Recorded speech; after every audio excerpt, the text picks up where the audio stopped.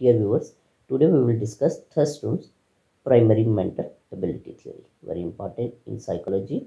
Thurston primary mental abilities theory is a framework for understanding intelligence in terms of seven distinct abilities. These abilities are verbal comprehension, the ability to understand and use language effectively.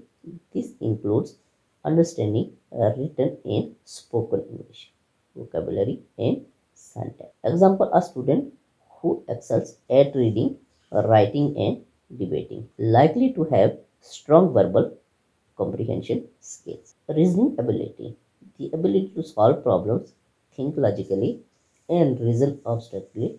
This involves recognizing patterns and relationships between objects and ideas. For example, a student who is good at math and science and who can use deductive reasoning to solve problems likely has strong reasoning ability. Perceptual speed. Processing visual data quickly and correctly is referred to as perceptual speed. Identifying patterns, shapes, and items falls under this category.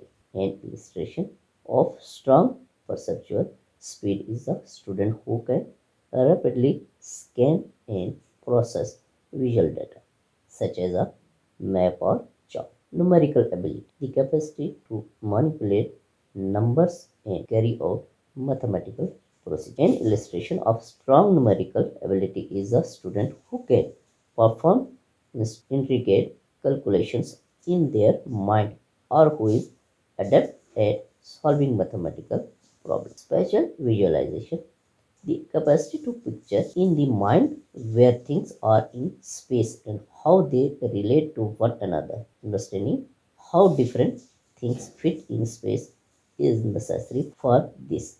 Example, a student who is excellent at drawing or has a good sense of direction is an example of someone who has strong spatial visualization abilities. Associative memory, capacity to recall knowledge quickly and accurately using associative memory. Example, a pupil who recall information from a book or lecture with ease is likely to have strong associative memory ability. Perceptual accuracy. Accurately recognizing colors, shapes, and textures in the world is referred to as perceptual accuracy. An illustration would be a student who can quickly tell apart two textures or colors that are comparable to one another. Thurston believed that intelligence is not a single unitary construct but